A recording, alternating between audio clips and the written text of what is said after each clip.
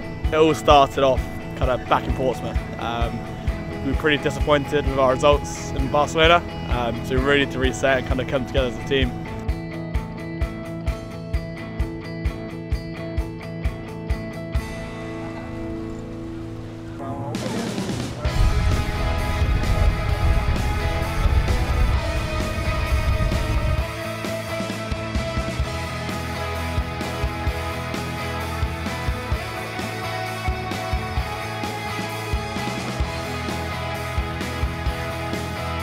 Um, I really feel like this has really grown um, together, which then has allowed us to go out into water, everybody backing each other up on the boat, allowing Lee to get his head out, use his tactical, his tactical brain, which then is putting us towards the front of the fleet. And uh, starting to see his results come through, so really happy how the guys got on.